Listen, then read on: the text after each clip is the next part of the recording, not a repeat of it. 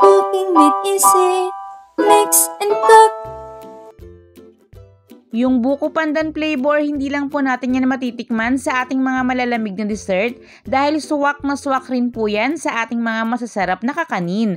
Ngayon po, magluluto tayo ng isa na naman pong kakanin recipe na sure akong magugustuhan ninyo, i-enjoy ng inyong buong pamilya at pwedeng pwede rin pong gawing pang negosyo.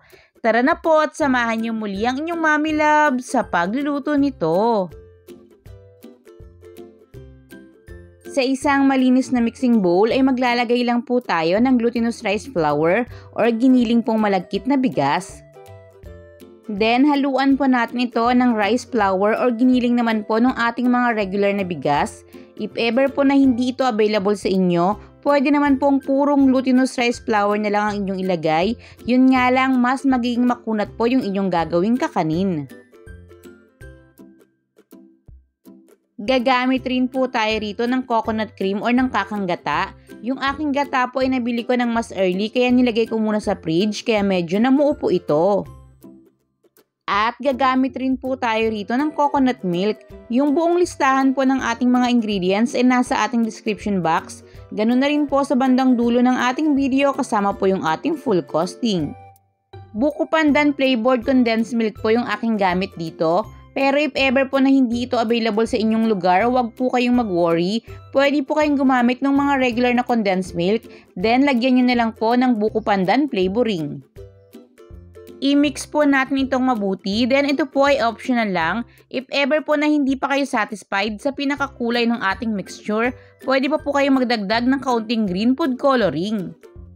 To ensure na smooth po ang consistency ng ating mixture, pwede nyo po itong salain.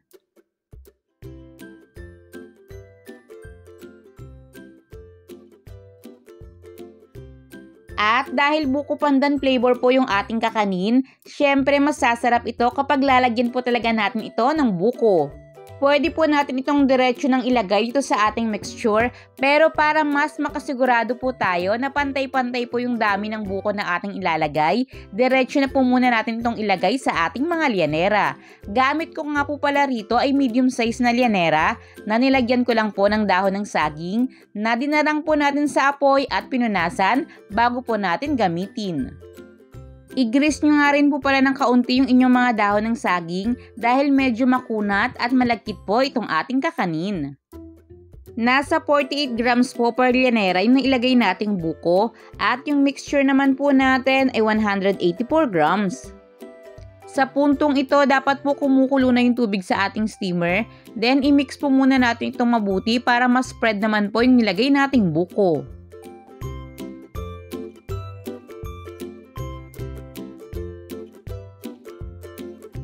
Kapag kumukulo na po yung tubig sa ating steamer, isalang na po natin ito. Then, nilutuin po natin to over medium heat ng isa't kalahating oras. Or after 1 hour and 10 minutes, mag-toothpick test po tayo. If ever po na hindi pa po ito luto, magdagdag pa po tayo ng 10 to 20 minutes possible po talaga na magkaroon ng difference yung oras ng pagluluto natin dahil magkakaiba po yung kalan na gamit natin at posible rin pong magkakaiba yung lakas ng apoy ng ating gamit. Kaya much better po na mag-toothpick test kayo para masigurado yung luto po ito hanggang sa pinakaloob. Ngayon naman po, maglalagay po tayo ng ating toppings na mas magpapasarap pa dito po sa ating ginagawang kakanin para po sa buong video niyan, panoorin niyo po ito. Don't worry, dito naman po sa gagawin nating toppings, 2 ingredients lang po yung ating gagamitin. Bali, pinaghalo lang po natin yung ating coconut cream or yung ating kakanggata at condensed milk. I-mix po natin itong mabuti bago po natin ito isasalang sa ating kalan na ang lakas naman po ng apoy ay medium heat hanggang sa ito po ay kumulong mabuti at medyo lumapot. Ngayon naman po ay hatiin natin sa walong lianera ito pong ating pang toppings. Kahit maglagay pa po tayo ng toppings dito sa ating kakanin, I can assure you mga palalab, saktong-sakto lang po yung tamis nito. Ngayon po ay isa lang natin ito sa preheated oven ng 180 degrees Celsius na ang init lang po ay nasa pinakaibabaw dahil aim lang po natin na medyo ma-toast or mag-brown yung pinaka-toppings ng ating kakanin. Nasa 40 minutes ko po itong naisalang pero still nakadepende po ito sa gamit yung oven. Basta ang importante lang po ay makita nyong mag-brown yung pinaka-toppings ng inyong kakanin bago nyo po ito hahanguin. If ever naman po na hindi available sa inyo yung oven, kung naalala nyo at napanood nyo na po yung ating bibingkang malagkit na niluto lang po natin gamit po yung ating kawali, pwedeng ganong pamamaraan po yung inyong gagawin at pwede rin po kayong gumamit rito ng oven toaster. And charan! Po mga palalabs, ang isa na naman pong kakaning Pinoy na hindi lang po natin maihahain sa ating mga mesa, pwedeng pwede pa po natin gawing pang negosyo. Mata pa lang po yung ating gagamitin, talaga namang nakakatakam na po ito. Napakabango po kung ito'y ating aamuyin. At mga palalabs, kung ito po'y ating matitikman, I can assure you po yung sarap at linamnam talaga naman pong malalasahan sa kakaning ito. Kung gagawin niyo po itong pangnegosyo, palamigin niyo po muna ito bago niyo po isalin sa inyong mga packaging.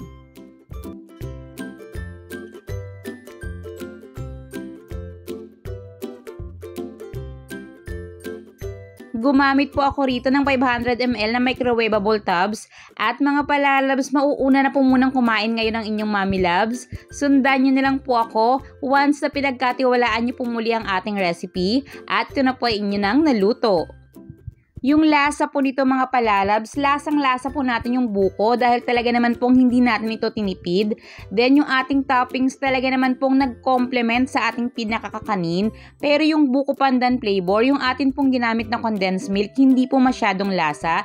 Kaya kung gusto nyong mas lasa po itong buko pandan, pwede pa po kayong magdagdag pa ng food flavoring. Sana po ay muli ako nakapagbahagi sa inyo kahit kaunting kaalaman. Ngayon naman po ay alamin na natin ang ating full costing.